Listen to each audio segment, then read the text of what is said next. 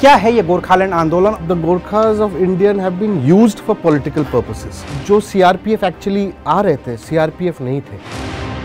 गोरखालैंड की ज़रूरत क्यों पड़ी? साल भर हम नॉर्थ ईस्ट लोगों को मज़ाक उड़ाते हैं। लेकिन ओलंपिक में जब गोल्ड मेडल लाता है वही नॉर्थ ईस्ट तब वो इंडियन हो जाता है। We are completely ignored there was no growth at all everybody is everywhere all at once इसका सॉल्यूशन क्या है? बहुत पहले से ये मुद्दा चल रहा है। जो भी आपने पढ़ा इस किताब में वो सब हकीकत है। These stories you will not find anywhere because they have been erased Savdhaan India के प्रोड्यूसर हैं। ये जो ट्रांजिशन वाला फ़ेज़ है ये कैसे आया? हल्के में मत लिया करो हमें तो इतिहास की कुछ सच्ची घटनाओं को मिथकीय चरित्रों के ज़रिए जब शब्दों में पिरोया जाता है तो वो कहानी बनती है या उपन्यास? एक ऐसा ही उपन्यास आज भी मेरे हाथ में है, जिसके चरित्र तो लेखकीय कल्पना है, लेकिन उनकी हकीकत इतिहास के उन पन्नों में दफन है। जब आप दार्जिलिंग की चाय पीते हुए 80 के दशक में अखबारों के ज़रिए उन कहानियों को पढ़ा करते थे। ये कहानी है गोरखालैंड के आंदोलन की, जिसे सामने लेकर आए हैं टीवी के जाने माने प्रोड्यूसर स्टैंड अप कॉमेडियन और लेखक अनिर्बान भट्टाचार्य। किताब का नाम है द हिल्स आर बर्निंग, जिसे प्रकाशित किया है फिंगरप्रिंट पब्लिकेशन ने। तो आज हमारे साथ खुद मौजूद हैं अनिर्बान भट्टाचार्य उनकी इस नई किताब पे हम बात करेंगे और बात करेंगे उस आंदोलन की जिसकी शुरुआत तो 1907 से ही हो गई थी और वो अब भी मौजूद है। शुक्रिया सर वक्त देने के लिए। नमस्ते।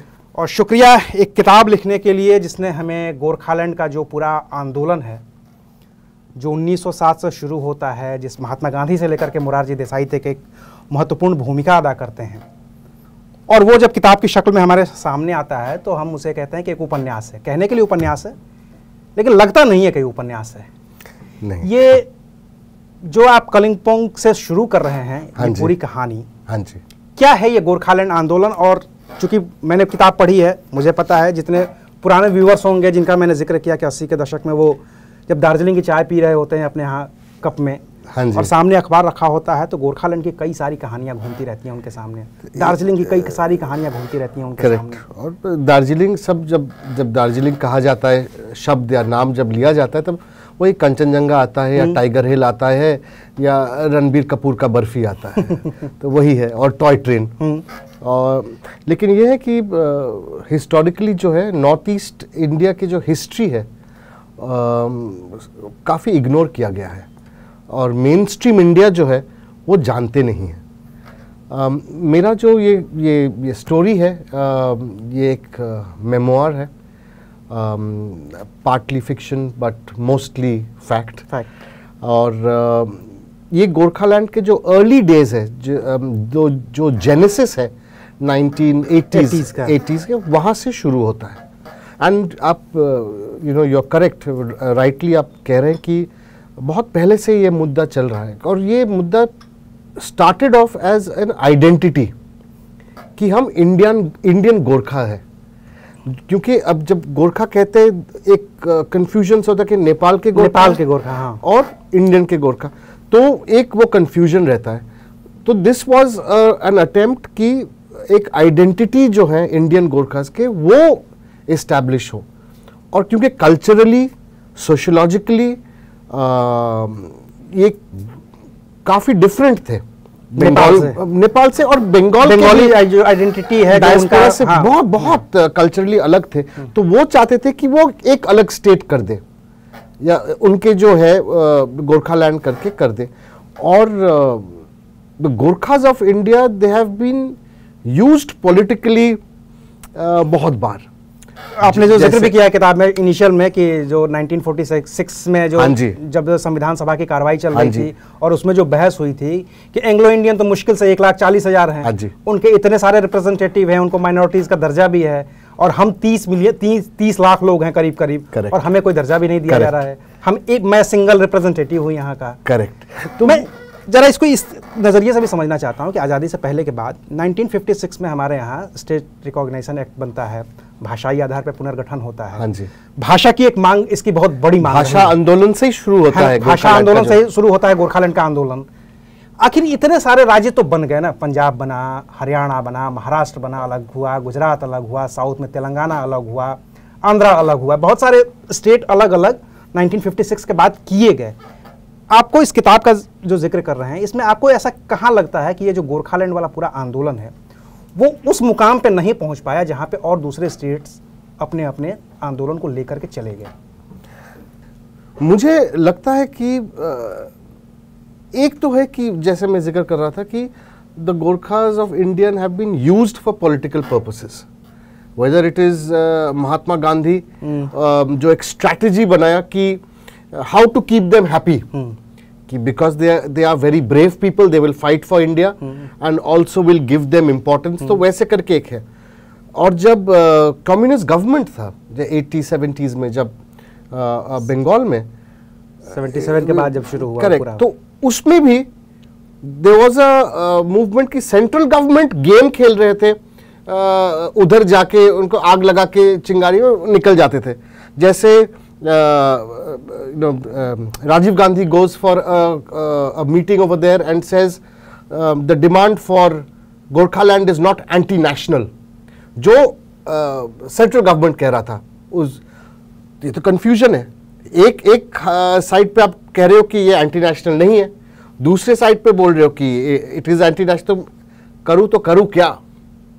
So it is you know we were stuck over there so बहुत through the generation through the gen every और ये देखिए गोरखालैंड जब जो मूवमेंट है for Gorkhaland it is a cyclical movement कुछ आता है हम्म। आग लगता है आग लगता है तीन चार साल चलता है फिर चुप। चुप हाँ। फिर आता है फिर आग लगता है लगता है। So 2012 14 15 there was a big 13 में बड़ा था 13 बहुत बड़ा था। So again there is since last year एक अवेकनिंग हो रहा है फिर से। और गोरखालैंड का जो आप कह रहे कि क्यों नहीं हो पाया क्योंकि इतने सारे फैक्शंस हो चुका था कि they were too busy fighting amongst themselves कि बीच बीच में लड़ रहे थे अपने आप आप से ही लड़ रहे थे। जो कॉमन कॉज था वो भूल गए। इवन ड्यूरिंग द एटीज जो जब, नायक रहे हैं। जब जब जीवीसी हो गया फॉर्म uh, कर गए जीवीसी और जीएनएलएफ हाँ। सुभाष घिसिंग का मेरा समझ में ये है and correct me if I am wrong but Subhash Ghising was a very you know proper diplomat वो चाहते थे कि बाय द बुक सब कुछ हो। शांति से बातचीत शांति से निगोशिएशन से।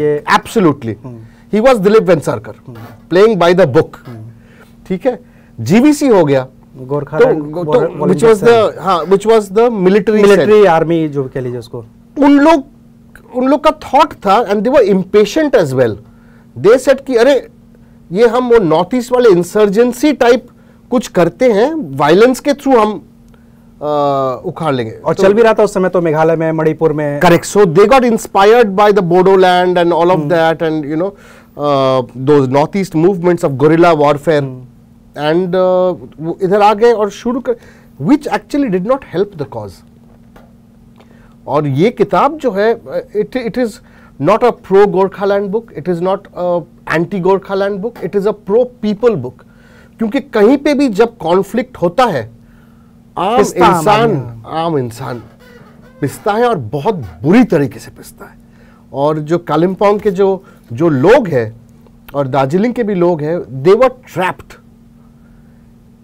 and they couldn't go out anywhere जैसे इमिग्रेंट्स होते हैं जब hmm. या जब lots of Bengalis who are working there और you know people from other parts of India वो जो काम कर वो तो निकल गए। क्योंकि उनकी ज़िंदगी है बाहर। लेकिन जो उधर के नेटिव थे वो अटक गए और वो पिस गए।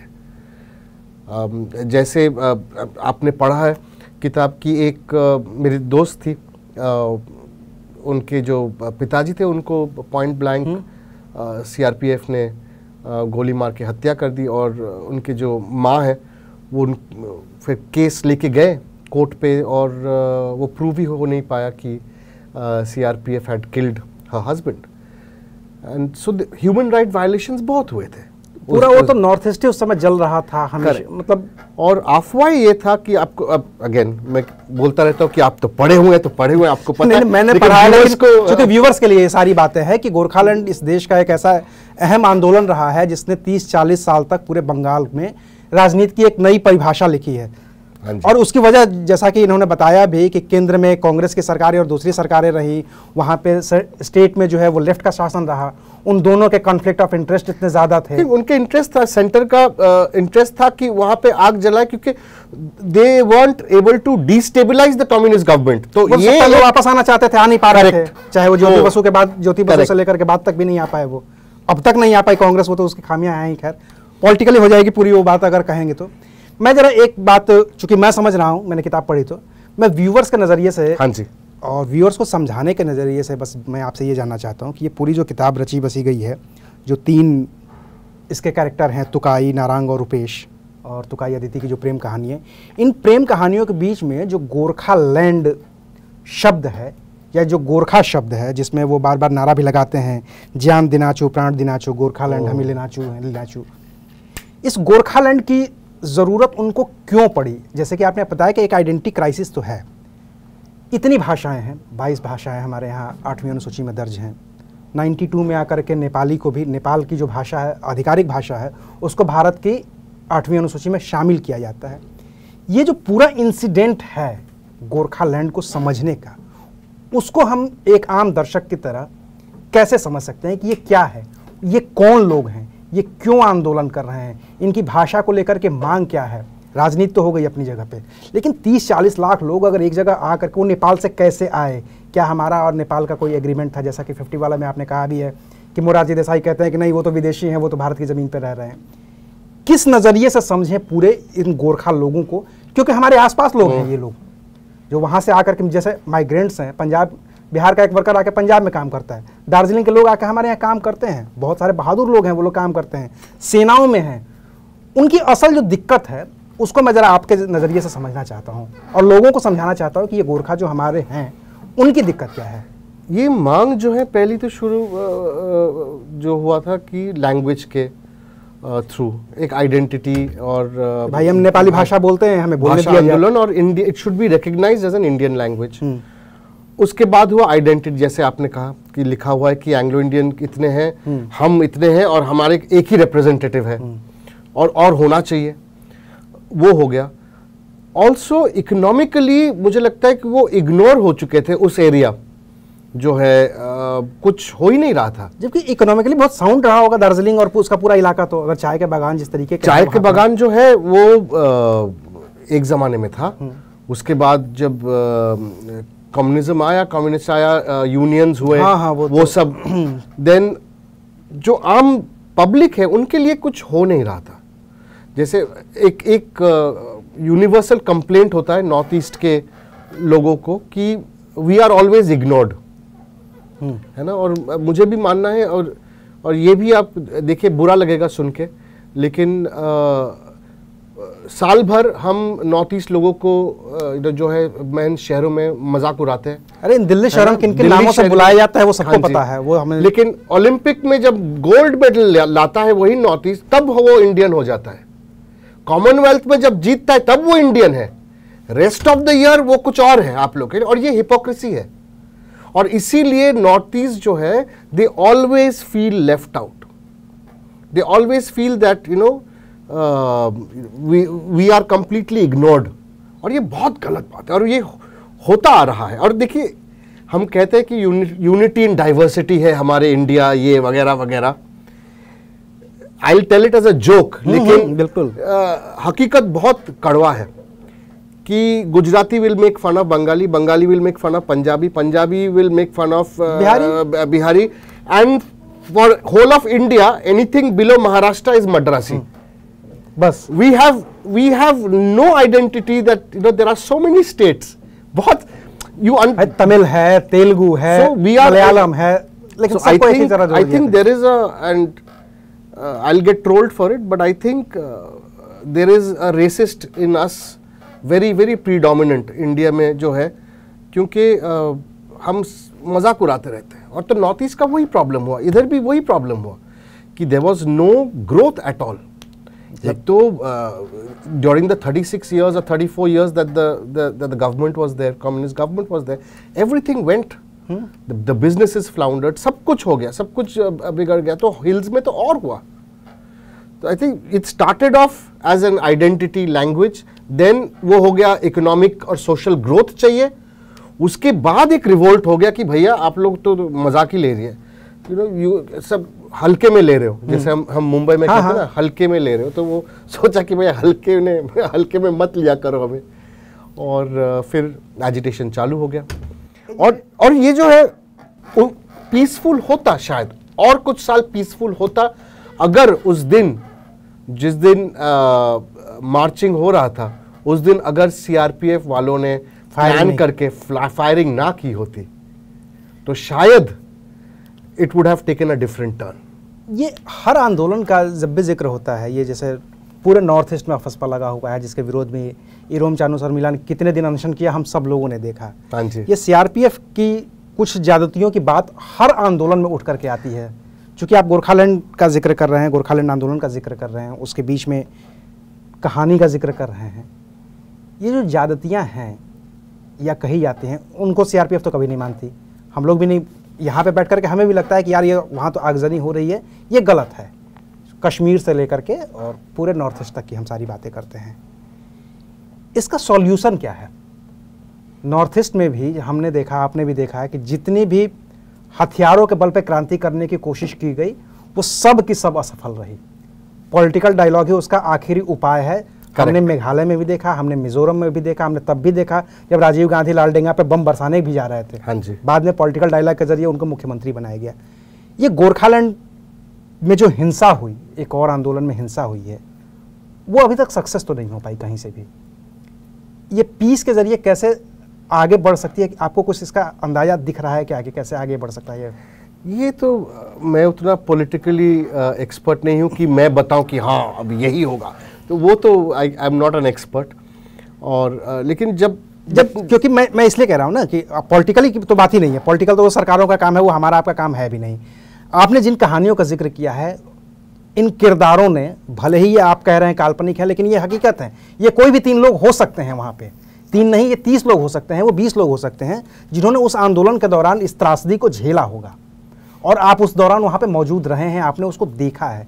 तो जो आम लोगों के मन की धारणा है भाई इन तीन लोगों की क्या गलती थी? जो आपके ये तीनों कैरेक्टर उनकी तो कोई गलती नहीं है उस आंदोलन में। हम्म। आंदोलन तो एक चल रहा है इनकी अपनी कहानी है इनके अपने क्लास हैं इनकी अपने प्रेम कहानियाँ इनका अपना एक परिवार है। ऐसे हज़ारों लाखों परिवार हैं जो इस त्रासदी को भुगत रहे हैं। हाँ जी।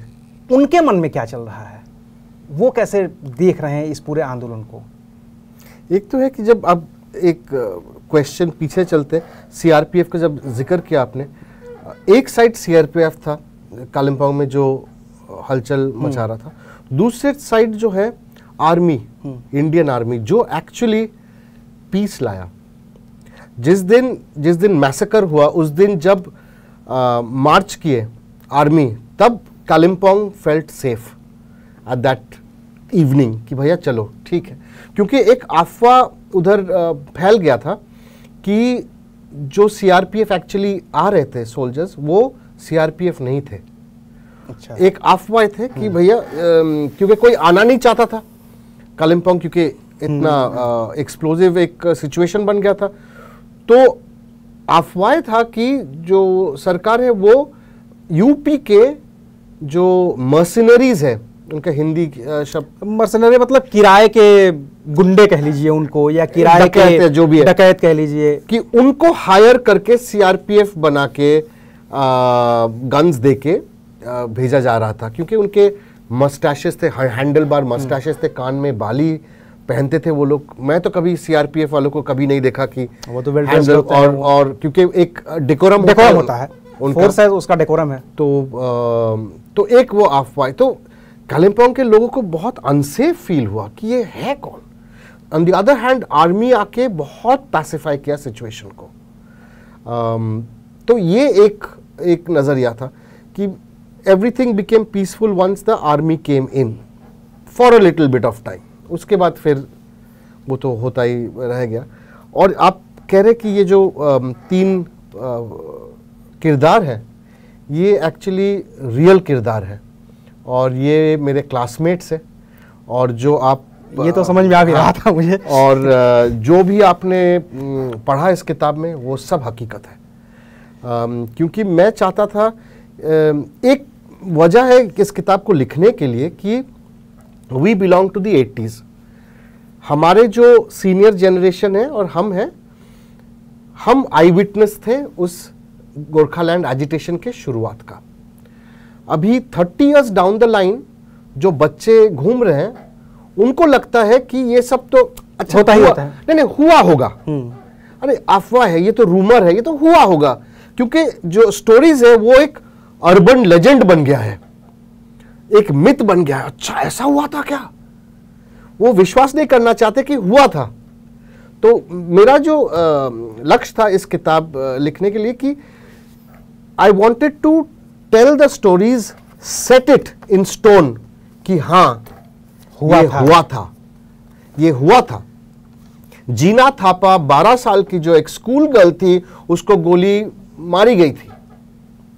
On the suspicion that she was a terrorist और 12 जब साल उनका बॉडी जब पेरेंट्स को वापस दिया जा रहा था she was still wearing her school bag these stories you will not find anywhere because they have been erased they have been erased from public memory, public records. तो ये है first hand account of meeting people interviewing people और अ, ये stories कहीं पे नहीं, मिलेगा तो मैं चाहता था कि ये सब स्टोरीज सुनाया जाए बोला जाए शेयर किया जाए कि लोग जाने कि एक रेवोल्यूशन के पीछे जो है एक है पॉलिटिकल वगैरह वगैरह वगैरह वो तो उसको है तो है ही। आइडियोलॉजिकल हाँ। वो सब है लेकिन जो आम इंसान के साथ जो जो गुजरता है वो कुछ और ही होता है क्योंकि इस किताब को पढ़ते हुए ना जैसे इमरजेंसी जब लगी थी 1975 वाली उसके बाद एक किताब लिखी गई थी राही मासूम रजा ने एक बड़ी अच्छी किताब लिखी थी कटरा भी आरज़ू। हाँ जी।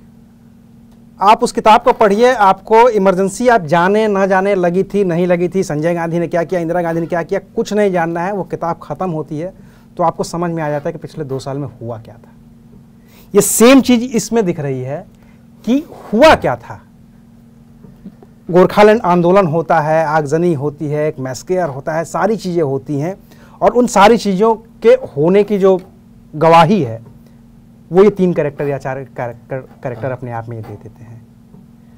तो ये तो इस किताब की खूबसूरती है जिसके लिए मैं बार बार कह रहा हूँ क्योंकि मैं पूरी कहानी इसलिए नहीं बता रहा हूँ कि अगर मैंने पूरी कहानी आपके ज़रिए कैमरे पे ही बता दी तो फिर व्यूअर इसको पढ़ के खरीदे खरीद के पढ़े। बोलते स्पॉइलर अलर्ट स्पॉइलर अलर्ट और चूँकि मैं इसीलिए कह रहा हूँ स्पॉइलर अलर्ट की बात आ गई आप टीवी के प्रोड्यूसर रहे हैं। हाँ जी। उसके बिना तो बात जाने नहीं दूँगा मैं आपको। सावधान इंडिया आप सब लोगों ने देखा होगा तमाम लोगों ने जितने व्यूवर हैं उसमें से हो सकता है कुछ पुराने लोग हों, उन्होंने सावधान इंडिया देखा ही होगा ज़रूर देखा होगा।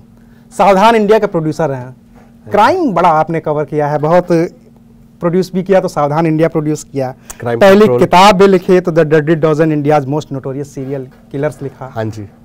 और अब एक ये आंदोलन। ये जो ट्रांजिशन वाला फ़ेज़ है ये कैसे आया? तो क्राइम देखिए ये जो एक एक आपको एक थोड़ा सा एग्ज़ाम्पल देंगे हाँ। और होपफुली आप ताजुब हो जाएँगे। और क्योंकि मुझे हाल ही में ये जो बल्ब है ना ठप करके जला कि हम बचपन से ही क्राइम पढ़ते आ रहे हैं। और कैसे? शर्लॉक होम्स पढ़ते हैं फेलुदा पढ़ते हैं बोमकेश पढ़ते हैं सीक्रेट सेवन फ़ेमस फाइव सब पढ़ते हैं। ये क्या है वो? क्राइम ही तो है। हाँ मर्डर नहीं हो रहा है चोरी हो रहा है डकैती हो रहा है कुछ स्टैचू किसी ने लेके भाग गया है ये सब क्राइम है। तो बचपन से ही हमारा जो दिमाग है वो प्राइम हो चुका है क्राइम के लिए। ठीक है बचपन से ही हमको लगता है कि अच्छा क्राइम इज़ वेरी गुड। तो मैं 2012 में आ, मैंने सावधान इंडिया जो शो है वो क्रिएट किया और उसके बाद वो प्रोड्यूस भी किया। और वेरी ब्लेस्ड कि ये शो Super hit रहा। सुपर हिट रहा और कोने कोने में सबको पता है इस शो आ, सब देखते थे।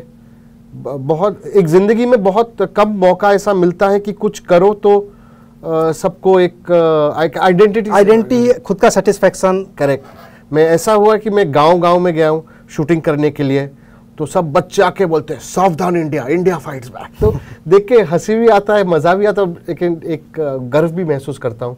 कि कुछ क्रिएट किए हैं जो पब्लिक को पसंद आया। तो उसी दौरान एक तो है कि सपना था लेखक बनने का। तो बहुत जब बचपन से ही एक था सपना और क्लास सिक्स में मैं मेरा पहला किताब जो है वो लिखा। और लास्ट ईयर वो पब्लिश हुआ है। वही किताब। द सीरियल की रहा नहीं वो है एडवेंचरस सिक्स करके बच्चों के लिए किताब है। क्लास सिक्स में मैंने लिखा था। तो लेखक तो बनना ही था। और अ, मैं मेरा जो एक अ, साथी है सुहेल माथुर करके वो एक लिटरेरी एजेंसी चलाते हैं। तो ये सब तो मुझे पता भी नहीं था कि लिटरेरी एजेंसी करके कुछ होता है। ये तो मुझे भी नहीं पता हाँ, था। क्योंकि मैं तो मैन्यूस्क्रिप्ट भेजता रहता था पब्लिशर को और वो देखते नहीं थे क्योंकि पब्लिशर्स के पास शायद 500-600 ईमेल्स आते होंगे हर रोज। तो अनसॉलिसिटेड जो है वो देखते नहीं है। तो सुहेल से मैं मिला और अ, मैं कहा कि भैया लेखक बनना है मुझे। तो अच्छा तो बनो मैं मदद कर दूँगा आपको और अ, ये किताब was suppose to be my first book अच्छा। ये। इतने लंबे समय से काम चल रहा था हाँ। तो उन्होंने कहा कि मत करो ये किताब। आ, मैं थोड़ा सा मायूस हो गया कि क्यों? क्योंकि पर्सनल स्टोरी है खुद का मेमोआर है। तो बोला नहीं ये मत करो क्योंकि तुम्हारा तुम्हारा जो अब लेगेसी बन गया है वो है सावधान इंडिया क्राइम का लेगेसी बन चुका है तो तुम ट्रू क्राइम के किताब लिखो। क्योंकि जब पीछे जब ब्लर्ब में लिखा होगा कि from the creator producer of Savdhaan India तब पब्लिक एक्सेप्ट हाँ बिकेगी और पब्लिक एक्सेप्ट भी करेगी कि हाँ, सच लिखा हाँ है। चलो कुछ तो है वज़न तो है इसमें। सो so, उस चक्कर में मैंने डेडली डजन सीरियल किलर वाली जो है किताब मैंने लिखा। और ब्लेस्ड की वो वो बेस्ट सेलर बन चुका है। और देन मैं I started enjoying true crime writing क्योंकि रिसर्च बहुत मज़ा आता है रिसर्च करना। तो मैं दूसरा किताब लिखा India's money heist Chelembra bank robbery जो इंडिया के केरला में जो हुई थी केरला में जो हुई थी और वो मैंने लिखा पुलिस इंस्पेक्टर के साथ जो अभी आईजी है केरला पुलिस विजयन सर। उनके और पूरे टीम के साथ मैंने वो किताब लिखी। और सुपरस्टार जो मोहनलाल है वो उन्होंने लॉन्च किया कोची में। तो काफ़ी ब्लेस्ड रहा ये यू नो सफ़र। प्रोड्यूसर बन ही गए राइटर बन ही गए फिर एक्टर भी बन गए आप तो सुई धागा हाँ में। सुई धागा में बन गए मिशन मंगल में बन गए। और एक एक फ़िल्म आएगी इस, इस साल होपफुली कॉल्ड ओपियम जो टोक्यो इंटरनेशनल फ़िल्म फेस्टिवल में प्रीमियर हुआ था उसका। तो अ, मेरा मेरा मानना है देखिए एक ही ज़िंदगी है ठीक है? और ये मैं मोटिवेशनल टॉक जब देता हूँ बच्चों को स्कूल या कॉलेज में तो मैं कहता हूँ कि देखिए एक ही ज़िंदगी है। हाँ हिंदू हो, हो, होने के नाते हम रीबर्थ में विश्वास करते या बुद्धिस्ट होने के नाते रीबर्थ में विश्वास करते लेकिन हमें थोड़ी ना याद रहेगा कि पिछले जन्म में हुआ था हुआ क्या था। है ना? तो यही ज़िंदगी है भैया। तो फिर आप यही फिर आप चारवाक वाले दर्शन में विश्वास करने लगते हैं। एकदम वीरेंद्र सहवाग जैसे फ्रंट फुट पर छक्का और चौका मारना चाहिए।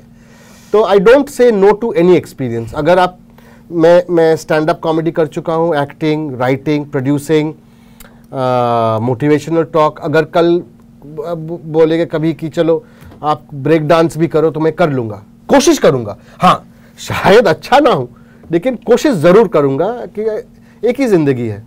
तो सब कुछ करके ही निकलना है। चलिए तो आप एक तो आपको शुक्रिया कि आपने एक बड़ी अच्छी किताब लिखी गोरखालैंड एजिटेशन पे। थैंक यू कोई ऐसी बात जो मुझसे छूट रही हो इस सवाल के लिए या कोई ऐसी बात जो दर्शकों को बताने ज़रूरी है कि गोरखालैंड के बारे में उन्हें क्यों जानना चाहिए? इस किताब की बात नहीं है। बात एक बड़े आंदोलन की है जो 1907 से चला आ रहा है। बात एक बड़े बड़ी आबादी की है जो भले ही बोलती नेपाली है लेकिन है हिंदुस्तानी। बात एक बड़ी आबादी की आइडेंटिटी की है। जिसको लेकर के आप ये किताब सामने आए। तो उस पर कोई ऐसा फाइनल कमेंट जो हमारे दर्शकों तक तो पहुँचना ज़रूरी है। यही है कि जैसे अभी अभी आपने बोलते नेपाली लेकिन इंडियन है। नेपाली जो है लैंग्वेज इंडियन ही लैंग्वेज है। It is like Gujarati it is like Bengali it is like like Malayalam like like Kannada problem यह है कि नेपाल करके एक कंट्री है हम्म। जहाँ पे नेपाली बोला जाता है। और, है। और यहीं पे तो एक वो कंफ्यूजन है and we keep looking at them as outsiders they are not outsiders क्योंकि नेपाली भले ही बोली जाती है लेकिन आप गोरखपुर से जैसे ही एंटर करेंगे नेपाल में वहाँ के लोग तो हिंदी बोलते हैं भोजपुरी बोलते हैं। हाँ जी। कालिम्पोंग में बांग्ला बोलते हैं लोग और दाजी में बांग्ला बोलते हैं ऐसे अभी तो देखिए अभी इंडिया हैज़ बिकम एक कॉस्मोपॉलिटन कंट्री बोलते हैं। अब ऐसा नहीं है कि सिर्फ़ चेन्नई में जाके आपको तमिलियंस मिलेंगे। अभी तो everybody is everywhere all at once Oscar winning बिल्कुल। है ना? तो तो वो हो गया everybody everywhere all at once है। हम है अभी तो we are all Indians and this is this has been a struggle of of of identity and all of that और uh, मैं मैं चाहूँगा कि लोग पढ़ें इस किताब को क्योंकि एक है कि आपको अगर uh, जानना है गोरखालैंड एजिटेशन के बारे में ज़रूर पढ़ें। Uh, आपको अगर लव स्टोरीज पसंद है ज़रूर पढ़ें। आपको दिल चाहता है जैसे या ज़िंदगी ना मिलेगी दोबारा जैसे फ़िल्में पसंद है तो ज़रूर पढ़ें क्योंकि इसमें फ्रेंडशिप की बहुत बढ़िया कहानी है। अम, हमारे जो बोर्डिंग स्कूल के लाइफ है अम, उसके बारे में है। और फ़नी भी है। अ, मैंने पिछले हफ़्ते इनफैक्ट एक रीडर ने पहले she got in touch with me on social media उसके बाद बा, बात किया मेरे से एंड शी स्टार्टेड क्राइंग मैं घबरा गया बोले हुआ क्या? बोले नहीं आई फिनिश्ड योर बुक और इतना अंदर से एक एम्प्टीनेस महसूस हो रहा है और आपको पता है एंड में क्या होता है वो वो मैं मैंने वही इसकी तो एक, एक, एक जो इमोशनल वो पूरा इमोशनली ड्रेन हो चुकी थी। बोलते कि this is not a book about just a political movement. It is a book about humans. It's a book about emotions and love and all of that. तो मैंने अगले दिन भी मैं मैसेज किया I you all right she said I am still crying तो तो ये सुन के अच्छा भी लगता है और कि ये किताब जो है सबको सबकी जो दिल है वो छू रही है और